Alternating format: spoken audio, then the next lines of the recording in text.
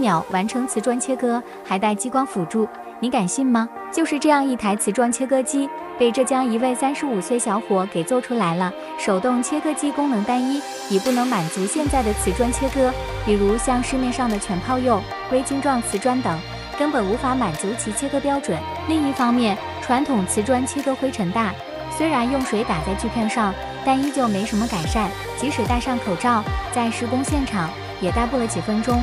而且长时间工作对身体危害极大。这台全新的瓷砖切割机，切刀特意做成 V 字形，切割方向速度都可调整，而且轻松省力，两个方向都可以切割，效率直接翻倍。就是这样一台善解人意的切割机，使用成本却非常低，人人都能用得起。